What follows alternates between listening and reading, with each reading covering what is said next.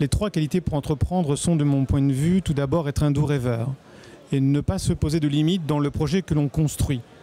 Souvent, les gens se posent la limite financière. Là, je pense qu'il ne le faut pas. Donc, il faut se laisser rêver. La deuxième, il faut avoir le sens de l'engagement, euh, savoir se sacrifier, savoir consacrer énormément de temps au projet qu'on est en train d'élaborer.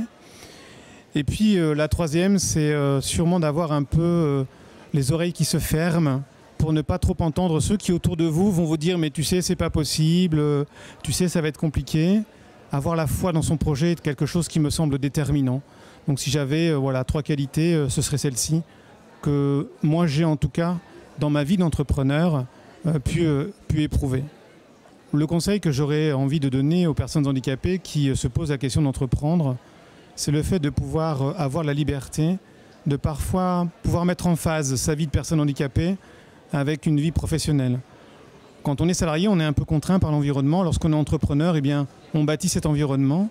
Et le conseil, c'est de bien prendre en considération son handicap, de mesurer euh, en quoi il peut être euh, embêtant, en quoi il peut être un frein, de pouvoir mettre en œuvre les choses qui permettent de contourner ce frein et ensuite de se laisser porter par son rêve.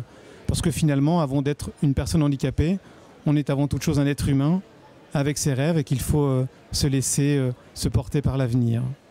Les trois conseils que je pourrais donner aux jeunes qui souhaitent se lancer dans l'entrepreneuriat, c'est d'abord d'accepter que le premier projet soit pas forcément le bon. On a, je pense, aujourd'hui le droit à l'erreur, donc il faut aller, il faut foncer.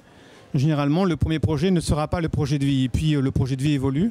Donc c'est de se dire, voilà, j'essaye et je verrai ce qui se passera. Le, deuxième, c'est de considérer que l'on n'est pas seul et de se faire accompagner, de se faire euh, expliquer les choses, d'avoir éventuellement euh, des personnes plus âgées qui ont vécu euh, la création d'entreprise pour accepter de les entendre et de ne pas faire les mêmes erreurs qu'ils ont pu faire. Hein. Quand on est jeune, souvent, on, veut foncer, donc c'est important d'écouter ceux qui ont pu faire ce même parcours.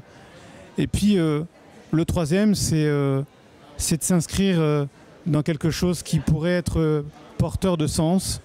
Il est inutile de chercher le business qui soit le plus fructueux financièrement. Hein. Être le plus riche du cimetière, ça ne sert à rien. Il faut vraiment concevoir son projet comme, euh, un projet qui vous porte, comme un projet qui fait sens, comme un projet qui, euh, qui est en résonance avec vous-même. Donc ne cherchez pas les millions, mais cherchez simplement à vous épanouir dans votre projet professionnel.